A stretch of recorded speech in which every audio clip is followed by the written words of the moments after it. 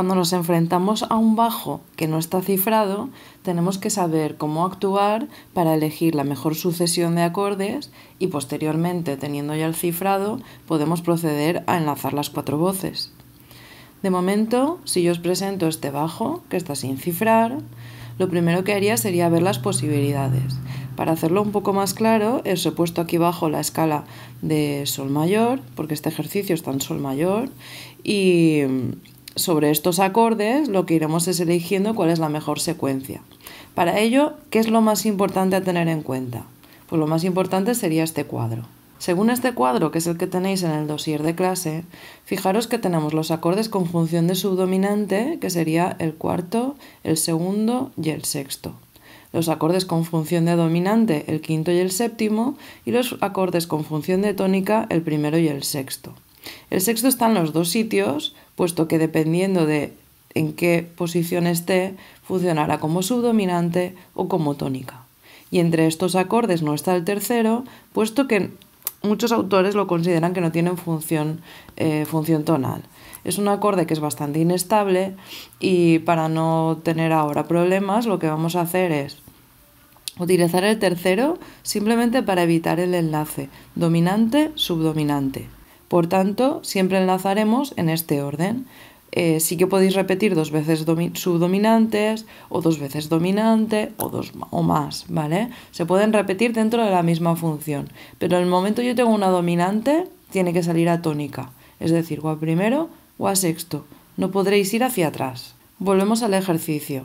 Estamos en este ejemplo, con lo que aquí lo que tendríamos que fijarnos es, como ahora solo sabéis cifrar en estado fundamental y en primera inversión, lo que vamos a ver son las posibilidades de cada acorde y a partir de eso elegiremos cuál es la mejor combinación. Hemos dicho que nos encontramos en la tonalidad de sol mayor y sí que tenemos claro que el primero y el último acorde siempre van a ser primer grado. Como es primer grado y tenemos el sol en el bajo, el sol en el bajo implica que está en estado fundamental por eso le ponemos el 5. Ahora tenemos un Fa. Con el Fa tenemos que ver en qué acordes podemos utilizar el Fa. Como solo estamos en el estado fundamental y en primera, buscaremos en qué acordes tenemos el Fa en estado fundamental y en primera inversión. ¿En cuáles tenemos el Fa?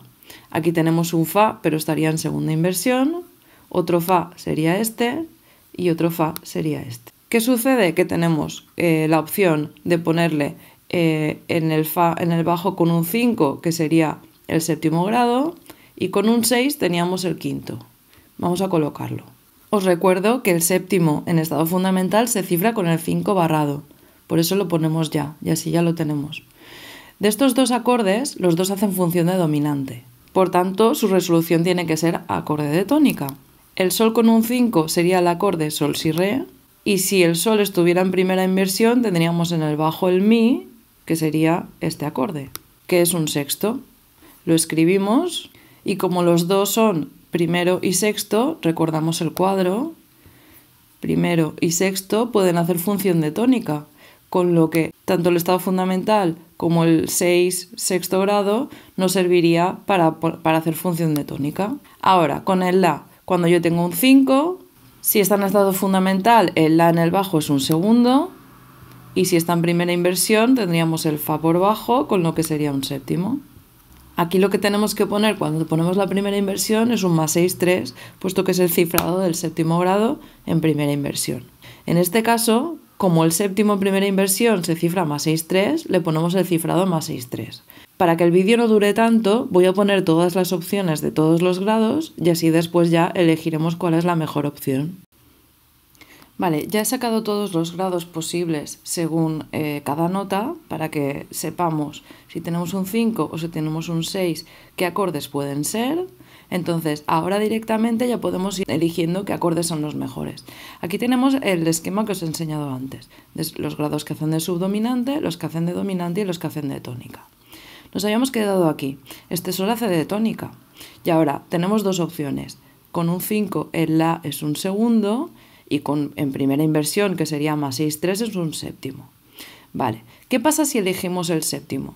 Si elegimos el séptimo, tendría que ir a tónica. Como sí que tenemos la opción de ir a un primero con 6, pues directamente podemos elegir esta opción, que sería dominante, y después esta, que sería tónica.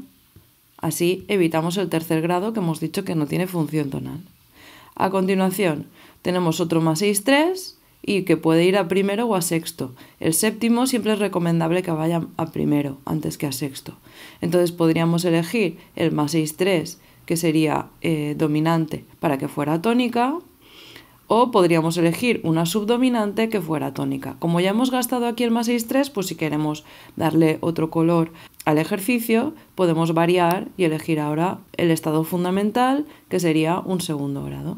Y como es subdominante, la subdominante puede ir eh, o quedarse en subdominante, o ir a tónica, o ir a dominante, o sea, tiene libertad absoluta. Aquí nos da igual cuál coger, porque como puede ir donde quiere, podríamos ir al estado fundamental de la tónica o a la primera inversión que sería un sexto. Como podemos elegir el que queráis, lo podéis dejar así y cuando llegue el momento de enlazar, elegís el que nos dé faltas y así os aseguráis tener bien el ejercicio. Entonces vamos a ir poniendo también las funciones dominante, tónica, subdominante. En estos de aquí pasaría más o menos lo mismo, por eso los he dejado así. Tanto si elijo el séptimo como el quinto, los dos son dominantes. Y luego tengo salida hacia el primero y hacia el sexto. Como los dos son tónica, los dejaríamos así y así cuando vamos a enlazar elegís la opción que os venga mejor o que en ese momento creáis que la melodía funciona mejor o no os dé faltas. Vale, continuamos. Hemos dicho que el segundo, que es subdominante, puede ir donde quiera. Pues cuando llegue este momento ya elegiréis según os venga mejor el tipo de enlace. En el siguiente tenemos un Fa. 5 barrado séptimo con 6 es un quinto. Entonces, ¿qué elegimos? Las dos son dominantes, entonces nos va a dar igual. Pues vamos a dejarlo abierto y así en el momento vayamos a hacer el ejercicio ya elegiréis. Continuamos. Las dominantes tendrían que ir a tónica, con lo que tanto el primero como el sexto hacen las dos de tónica.